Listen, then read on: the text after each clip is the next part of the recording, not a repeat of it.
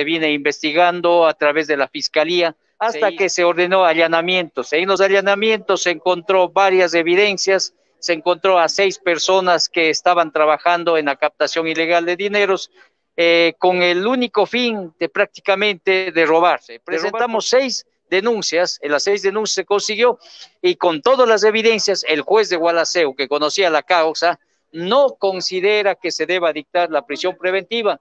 Por tal razón se les pone en libertad únicamente presentándose cada mes, saludando, como yo digo, al juez y la prohibición de salida del país. Eso ha dado para que esta señora, eh, la principal eh, que, acusada y los eh, socios de ella, vayan a amenazar diciendo de que si no les alzan la denuncia les van a matar, que ellos han contratado ya a los chioneños y que ellos van a ver cómo hacen. La, la forma de captar el dinero era de recibir en efectivo todos los dineros que entregaban y, esta señora a cambio le daba un cheque de ellos o una letra de cambio. El primer mes se pagaba y después no regresaban más.